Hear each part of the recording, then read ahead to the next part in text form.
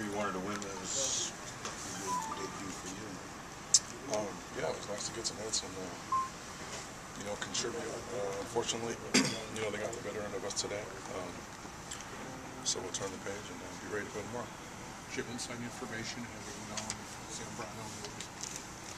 Well, yeah, you know, playing with them for years, you know what they like to do. But uh, those guys are tough, man.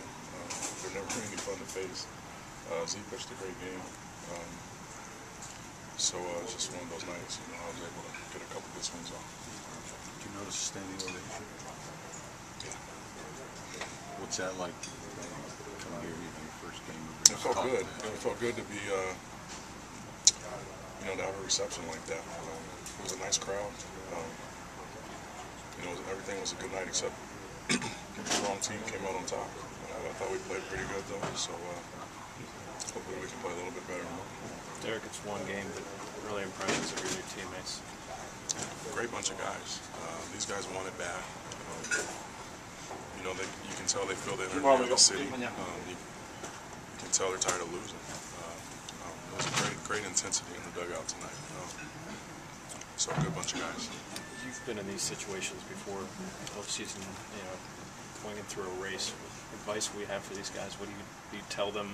They ask you what it's like. We're not worried about a race right now. We're worried about um, tomorrow's ball game. Just take it one at a time. Um, you know, you play the best ball you can for that night, and then you look up at the end of September September and uh, see where you're at. How strange was it to play against so many guys that you didn't play with for several years?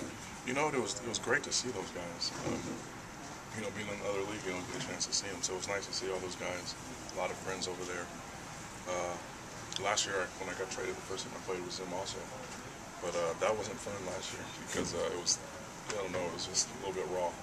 But uh, it was good to see those guys tonight. Derrek Clinton said you were very vocal and active in the dugout. You mentioned earlier you don't want to tell these guys what to do as a leader, but how do you view your role as a veteran on this team? just go about my business as usual. Uh, I- I don't think you try to do anything out of the ordinary as a leader. You just, you know, your personality is your personality. Um, so I won't go out of my way to do anything different. I'll just be myself. Was it tough to wait on that first pitch? Uh, first home run looked off and slow. Yeah, that's why he's so good. I mean, you know, he's able to mix up speeds like that. Um, he struck me out on the same pitch on the first at bat.